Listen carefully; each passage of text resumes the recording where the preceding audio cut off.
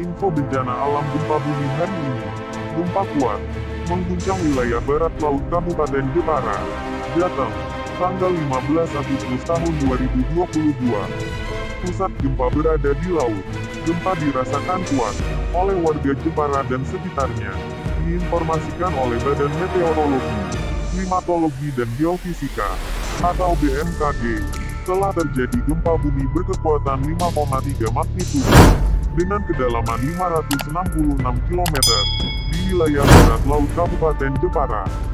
Gempa terjadi pada Senin malam, tanggal 15 Agustus tahun 2022, pukul 18.10 waktu Indonesia Barat.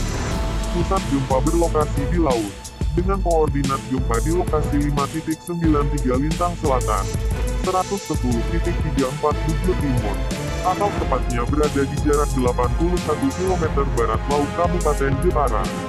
Dengan memperhatikan lokasi epicenter dan kedalaman hipocenternya, gempa bumi yang terjadi merupakan jenis gempa bumi akibat aktivitas sesar lokal, kata Kepala BMKG wilayah Jepara.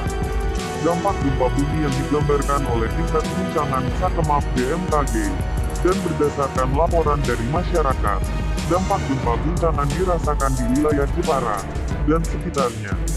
BMKG mencatat, gempa tersebut tidak berpotensi tsunami.